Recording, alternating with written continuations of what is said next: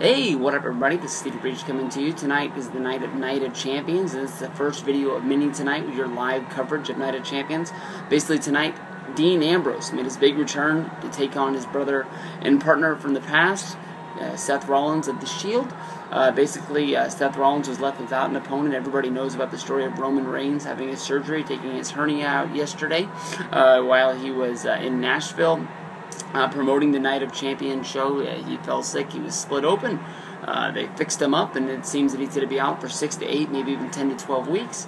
Um, to fill a hole in the show with Seth Rollins, uh, they made a call. They got Mr. Hollywood, Dean Ambrose, the titty master himself, to make a return uh, to the WWE. He showed up at Night of Champions as Seth Rollins came out uh, and basically came out of his cab. Uh, JBL pointed out the fact that he didn't pay for his cab, and then an all-out brawl broke out with officials and everyone trying to break it up. Dean Ambrose jumped off the top and did a huge splash.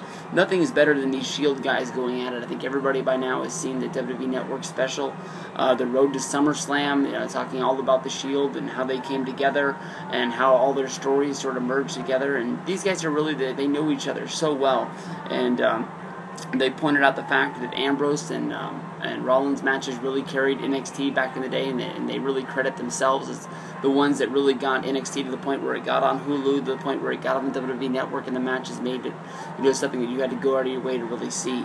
Uh, from here, we're going to go to Hell in the Cell, which is going to be Dean Ambrose versus Seth Rollins in uh, more than likely what would be a Hell in the Cell match. Everybody can remember their uh, lumberjack match from SummerSlam, where basically the storyline with all the people being out there it wasn't so they can get a paycheck, was trying to keep these guys in the ring and not running away from each other as Seth Rollins had done.